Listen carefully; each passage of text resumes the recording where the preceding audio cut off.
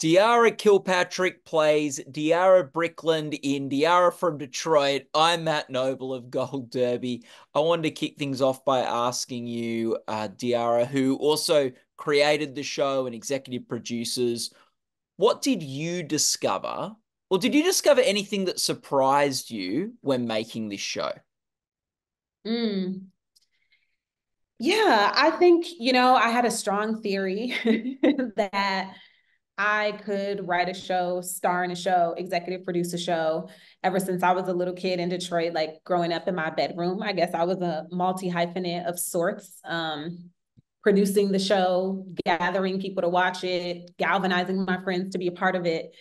But I hadn't actually done it before. You know, I hadn't actually made a full length season of television. Um, I had done a digital series before that, where the whole thing altogether was maybe an hour and a half of content or something. And moving through it, it was incredibly challenging. Um, there were moments where I was like, oh, this is, this is, you know, people say sometimes that show running is like being beaten to death by your own dream. And there were certainly moments where I felt like that was happening. Um, but when I moved through the entire process, I was like, oh shit, you can do this. Like you, your your theory was correct. You got this. Oh, nice. When when you were young and you like sort of had that dream, was there a particular uh, show or a couple of shows that you sort of like thought that inspired you to want to do that? I never thought about it that way. Okay. I mean, I I really was, you know, I'm kind of the only child, my mom's only child, only child growing up in the house. And that was how I entertained myself, you know, singing, dancing, making skits. I I really didn't think it was like an actual job when I mm. was really young. Um, but I watched a lot of there weren't that many choices when I was growing up, you know. So I think I watched what everybody watched. I watched Martin, Living Single, Fresh Prince, you know, those kind of sit half hour sitcoms were kind of my bread and butter for entertainment. Mm. Now, Diarra in the show is known as Captain Extra. Um, are, are, are you also a Captain Extra in your life? Yeah, listen to how many jobs I had on the show. I'm doing the most. Listen, I they had to stop me from trying to write songs. Um I I think there are definitely I I feel like I'm probably an all or nothing kind of person. Like if I'm really passionate about something, I'm giving 110%. And if I don't care, it is really hard for me to motivate to be captain gives any teeny amount of shits. Like it's it's yeah, yeah, I'm kind of I'm kind of all or nothing a lot of the time. Uh, and like I guess with the show, what like how would you describe the character you play? Ooh, she's so much fun to play, um, because she's really passionate. You know, anything she's doing, she's doing 150%. Um, she's fragile. She's emotionally um she's emotionally fragile. Like she's she's going through a divorce, but I think she's emotionally fragile anyway. And I think that's what's fun about playing a, essentially a private investigator. She becomes a private investigator, but the biggest mystery she's ever going to try to solve is is herself and what's going on in her own life. And so she's she's just one of those women who's never going to sit back and let life happen to her. And that's and she's she's funny, she's smart, um, and and she's she is unrelenting in her quest to to find out the truth. And that's really fun. Mm. and i guess like um as a, as as an actor like you need to be unrelenting in finding the truth in characters and scenes and moments and stuff uh like that. How how do you feel you're like her and also how you not like her? Mm. Well, I think, listen, I like to be at home, you know, I like to be at home on the couch watching TV. I'm not the person that's going to be going in the burning building. Um, I'm doing that for your amusement and entertaining entertainment. Um, so yeah, I'm I'm I'm a much I'm probably more cautious uh than she is and more of a couch potato. Um, and she, she's got a healthy libido you know, she likes she she has a really fun idea of a Friday night, I think, which is like getting some and you know, um, she's got a lot of spirit. Um, and she's really protective of the people that she cares about. In this instance, she meets this Tinder date. They go on one magical date, but she cares about him at this point, and she's not going to leave him hanging if she thinks she can help. And that's the same thing about her students. She's not going to leave them hanging if if she can help it. And you know, I'm human, but I I pray that I am blessed to be a blessing. That you know that having me in your life is going to be an uplifting beautiful, wonderful thing. And so I think I think we're similar in that way. It's like she got her people. She really, really does. Mm. With that Tinder date from the pilot episode, she, like, what does it say about her that she just will not believe that she's been ghosted, which sort of kicks off her whole like mystery investigation? Yeah. Yo, she is the poster child for Delulu women everywhere.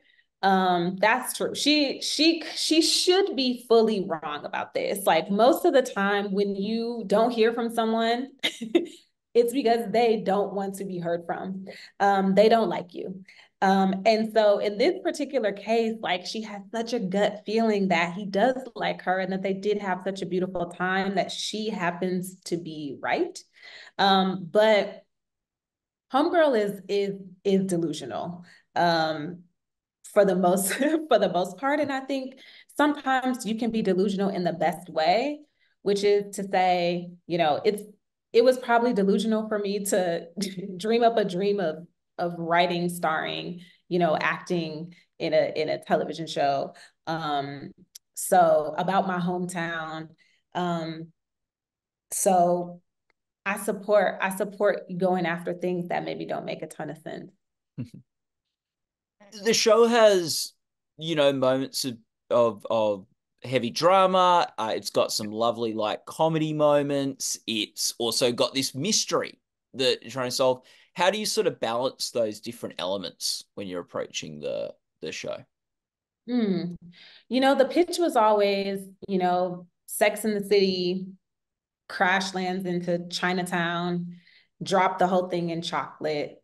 Um, I think there was a lot of in the writer's room trial and error of figuring out, you know, how to balance which parts of the story. I think we figured out early on that each episode really needed to be driven by where Diarra was emotionally, um, that we could have all the twists and turns that we wanted, but that we really wanted to ground it in in her journey um, and in the arcs of the people around her that they felt like really um really meaningful journeys that that none of the cast would ever be the same because of these events.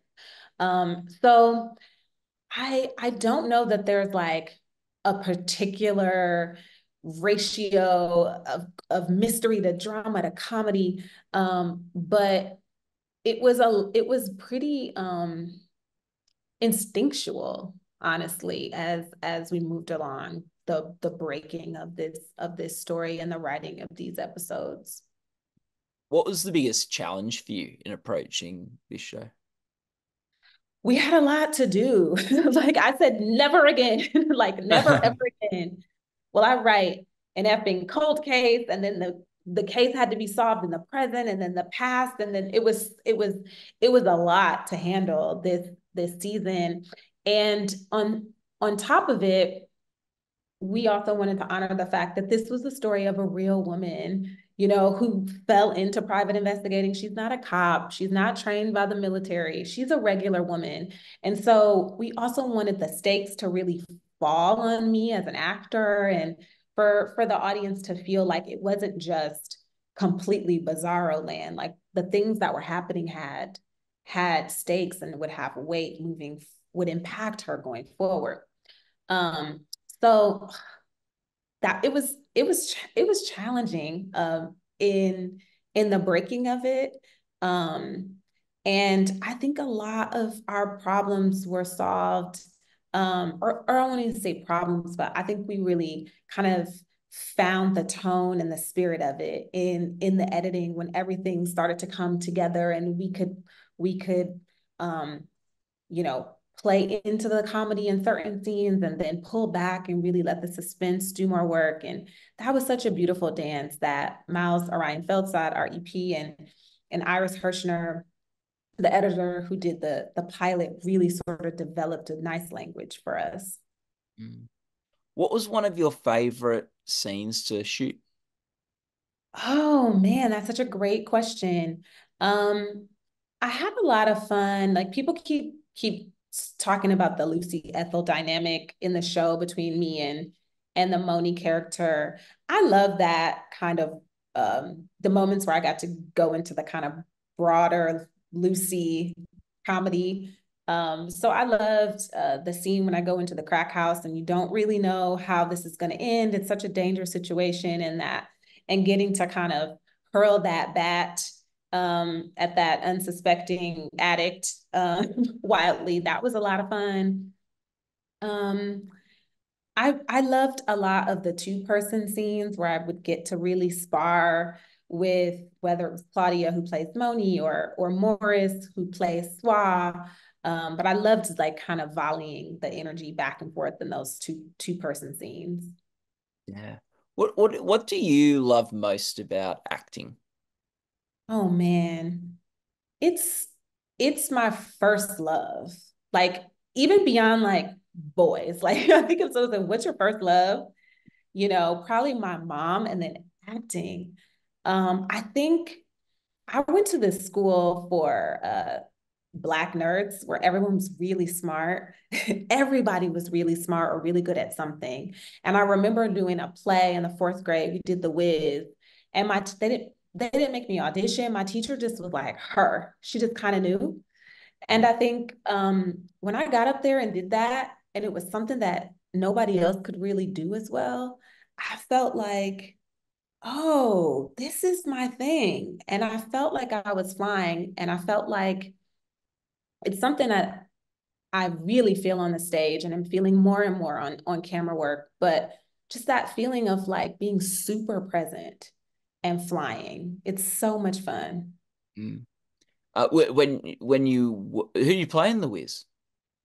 I played Dorothy. Oh, nice. And is is that like production that like performance Is that when you fell in love with acting yeah yeah oh. for sure for sure that's where i where i fell in love um and i just love embodying other people's stories like it's to just get out of your own circumstances and out of your out of the the the limitations of you um i just i just love that and i've gotten a chance especially on the stage to play different cultures, different sexualities, different identities, and it's been it's been really really fun and it broadens who I am. Mm. It's really really cool. Yeah. What was something about playing uh Diarra Brickland in this show that sort of broadened the way you thought about things or something you learnt from playing her? Yeah, man. Diarra is the character is much more audacious and bold than Diarra Kilpatrick, the the person. And I think I was stepping into my boldness as I was playing her and sort of a more unapologetic version of myself.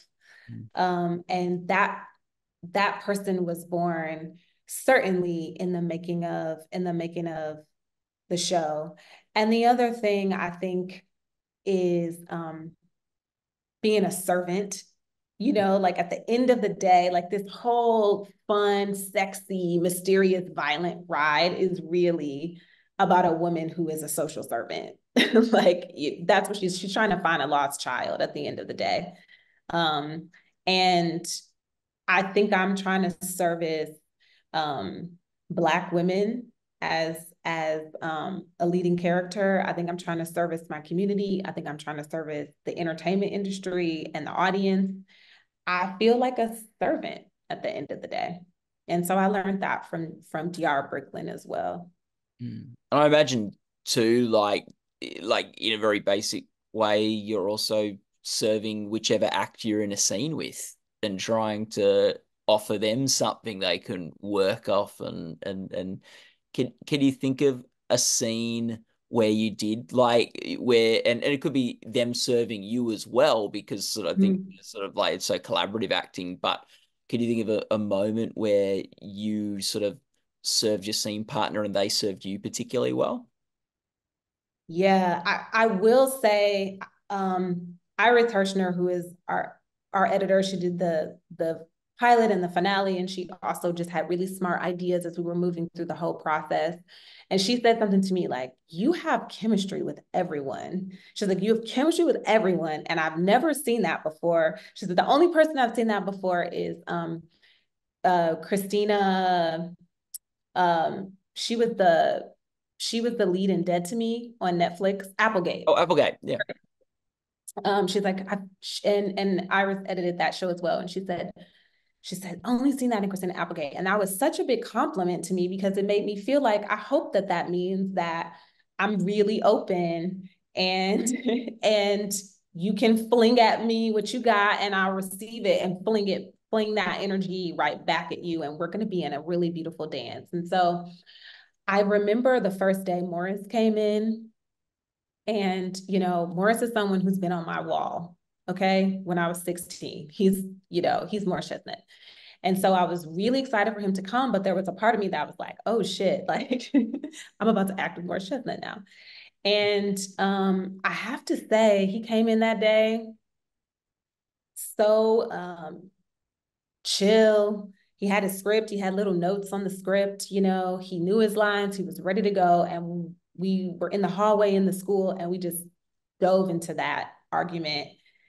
And it was he was so open and prepared that it just was kind of like a magical moment. And i remember chioke our director was like y'all seem married. And, and and i was like oh great. So i felt like in that instance um he just really he just really came ready to play.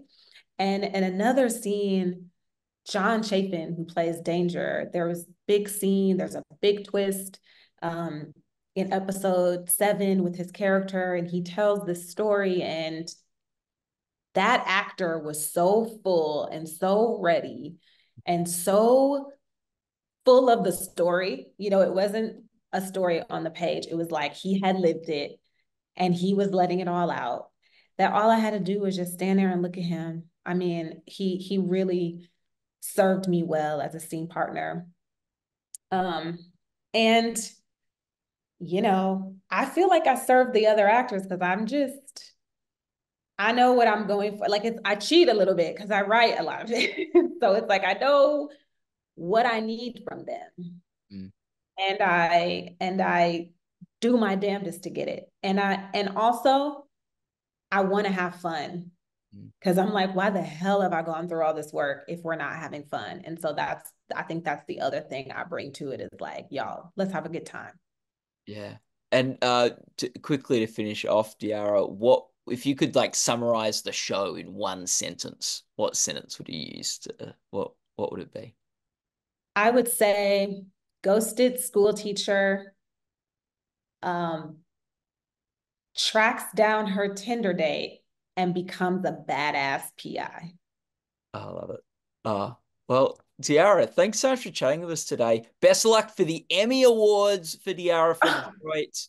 And uh, people can go to goldderby.com to track our awards odds, join the discussion, our forums, and see other interviews. Diarra, thanks so much for your time. This was lovely. Matt from Sydney, I appreciate you. Thank you.